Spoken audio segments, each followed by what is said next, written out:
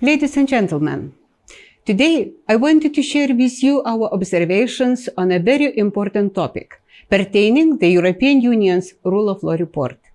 And my main message to you is the following. The EU's rule of law report has yet to find its footing. The rule of law is a core principle of the European Union, and it is vital for it to be strictly upheld.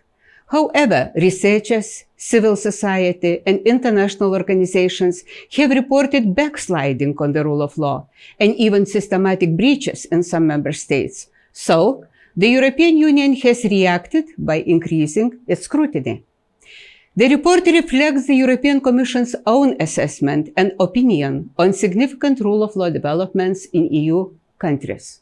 It focuses on four thematic areas justice systems, the anti-corruption framework, media pluralism and freedom, and other institutional issues relating to checks and balances. As the report is not legally binding, it relies on member states cooperating in good faith. Since 2022, the report has also included recommendations for member states, which the Commission then follows up to assess how far they have been implemented. As the EU's auditors, we report that from 2022 to 2023, only a tenth of the rule of law report's recommendations were fully implemented. A little more than half were implemented at least partially, and more than a third saw no progress whatsoever. The report is published annually and only provides updates on significant rule of law developments in EU countries over the previous year. We believe that the report could track wider multi-annual trends in the rule of law landscape with its upcoming fifth edition.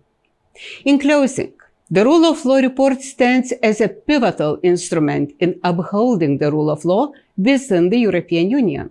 However, the low implementation rate of its recommendations and the obstacles in achieving synergy with other tools are areas of concern. Further details on this review can be found on the European Court of Auditors website.